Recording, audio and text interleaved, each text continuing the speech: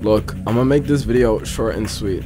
If you have FPS issues with your Valorant, like this, Meanwhile, these two retards. Fire pit. regardless of whether you're on all high settings or on all low settings, and you are one of the people spamming up Reddit looking for a solution to your problem, then please go over here to your settings on Discord, go to overlay, and turn off enable in-game overlay. Just turn it off. Your FPS is so much better. Now, this is for the people who get 300 FPS and are somehow getting lag spikes and crazy frame drops.